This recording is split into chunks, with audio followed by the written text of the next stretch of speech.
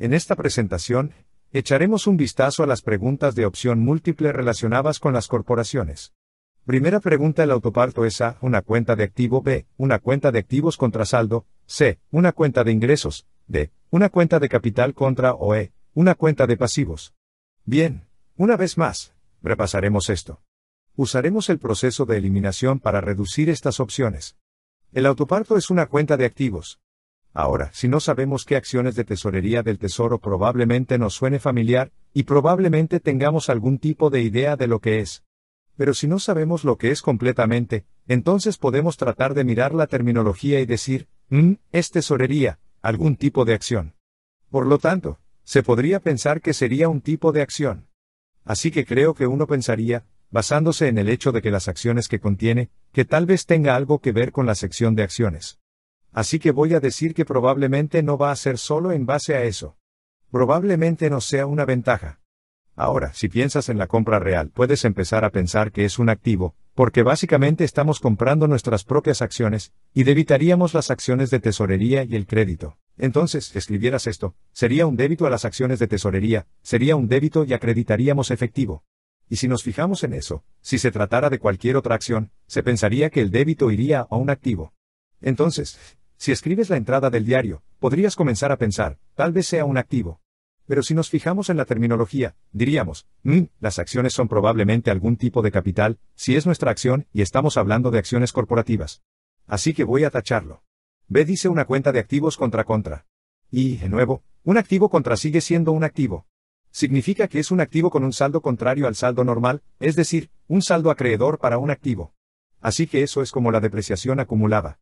Es una cuenta de activos contra, pero no es una cuenta de activos cualquiera porque tiene existencia si estamos asumiendo, adivinando, que eso estará en la sección de equidad C dice una cuenta de ingresos. Ahora, los ingresos están en la sección de patrimonio, porque es parte del estado de resultados que se cierra con el patrimonio. Así que me quedaré con eso por ahora. D dice una cuenta de contracapital. Por lo tanto, esa cuenta podría despistarnos. Tomaríamos la equidad suena un poco bien porque dice acción. Estoy pensando que va a ser una sección de equidad, pero en contra de la cuenta de equidad, no lo sé. Contra generalmente significa que tiene un equilibrio opuesto al equilibrio normal.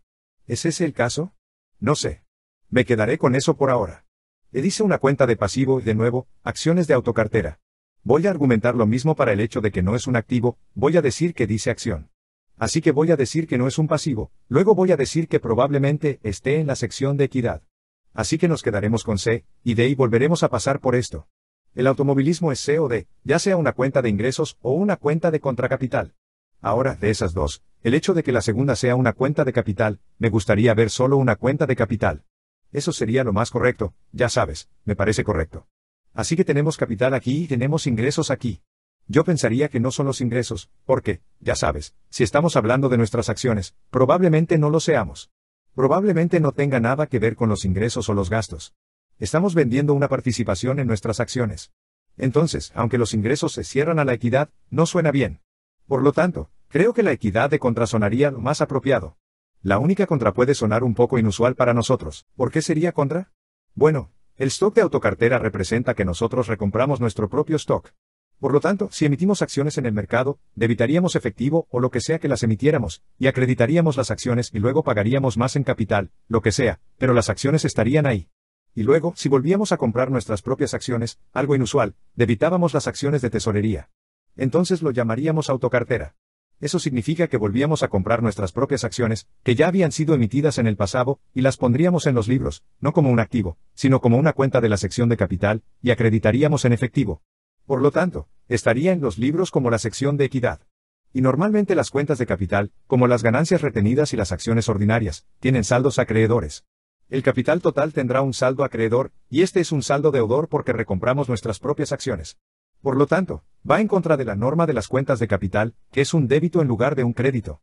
Nótese que ese relato en contra puede ser confuso, porque algunas personas, cuando aprenden las cuentas de contra, primero lo aprendemos con la depreciación acumulada, que es una cuenta de activos de contra, que es el primer tipo de cuentas de contra que aprendemos. Así que empezamos a pensar que las cuentas contra tienen saldos acreedores solo porque la depreciación acumulada es una cuenta contra y tiene un saldo acreedor. Pero lo que lo hace contrario no es que tenga un saldo acreedor es que el saldo normal de una cuenta de tipo activo es un débito y el La depreciación tiene lo contrario o en contra del saldo normal, que es un crédito para una cuenta de tipo de activo. Si estamos hablando de una cuenta de pasivo, como estamos aquí, las cuentas de pasivo tienen un saldo acreedor normal. Por lo tanto, para ir en contra de la norma, tendríamos que ser un saldo deudor si